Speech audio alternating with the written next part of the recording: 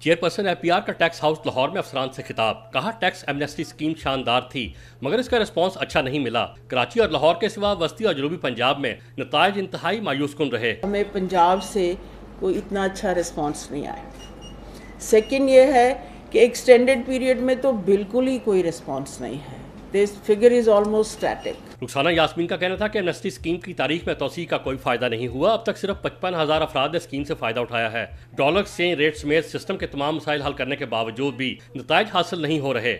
وقت بدل گیا اب نان فائلر کو بھی ٹیکس دینا ہی ہوگا۔ اوتھینٹک انفارمیشن ہمارے پاس ہے۔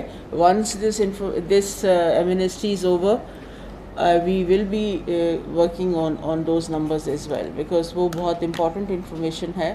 And it this is a chance for for so many people those who have local and foreign assets to declare chairperson A P R نے افسران پر اظہار برہمی کرتے ہوئے کہا کہ انہوں نے اسکیم کو کامیاب بنانے کے لیے محنت نہیں کی. اب تاریخ مزید نہیں بڑھائیں گے، بلکہ خفیہ دولت والوں کے خلاف بھرپور ایکشن ہوگا. کیمرامین محمد صفدر کے ساتھ جواد ملک جیو نیوز لاہور۔